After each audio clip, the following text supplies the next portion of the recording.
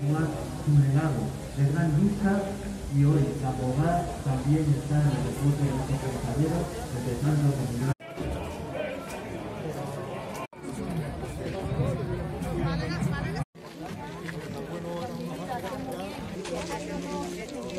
el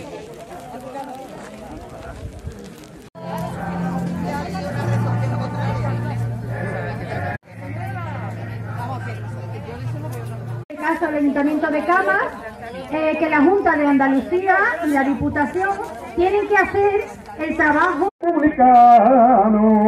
¡Viva la República!